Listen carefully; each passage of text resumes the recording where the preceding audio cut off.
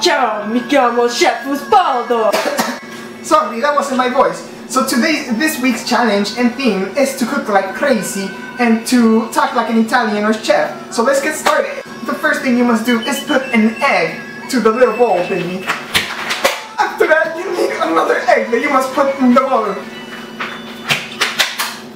After the egg is in the bowl, you can bring the bowl and check out it all started. The bowl, as you can tell, sort of. And why is that crazy girl running? So after you have the egg, as you can see right here in the bowl, squish it with your hand, like this. Squish and squish until the egg is super squish. The next thing you need is flour. You grab it with your hand, like this, and you're supposed to take off your glasses first. After that, you put it in your face, like this.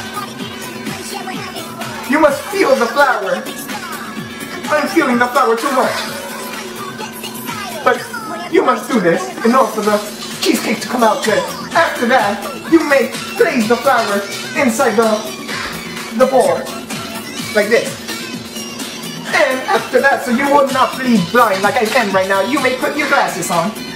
After that, you must pour the cheese, Monterey Jack, inside the little bowl. So you put some oil inside the cheese thingy. Like I'm making a red velvet cheesecake, you must add some food coloring.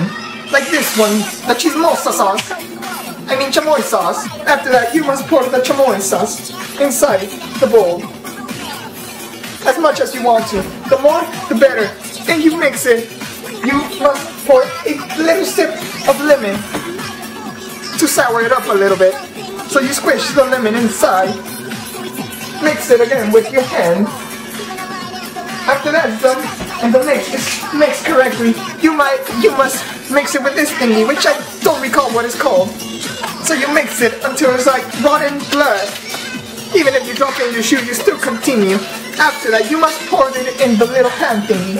This little metal pan. You pour it inside. Even though it looks so delicious, it's gonna be perfection. After that's done, you must put it in the oven. You can put your hand if you want to in it too, but I recommend not to put it on. One thing that I forgot before I put this was to preheat the oven. You preheat it to 350 right there in the little thingy. Once it says 350, you may push the start button. After that, I put the little cheesecake inside. While we waiting, you might need to get some frosting. Free to try it. Very delicious. Now, I'm gonna show you the last product.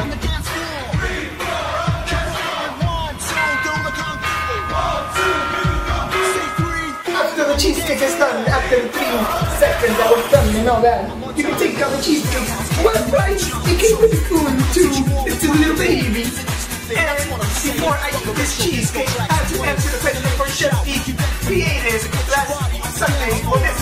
past Sunday, his question was, if you had a wish, what would it be? Well, my wish would be to have more cheesecakes like these. This is like the best cheesecake ever. You can see the red texture in the chocolate in the side that we added with the frosting. And if you ever want to make any other kind of cheesecake, just make sure to leave a comment below and I'll give you the recipe, the secret ingredient. And thank you for watching CollabLikePro. Tomorrow you'll have your Tuesday. And hasta la vista!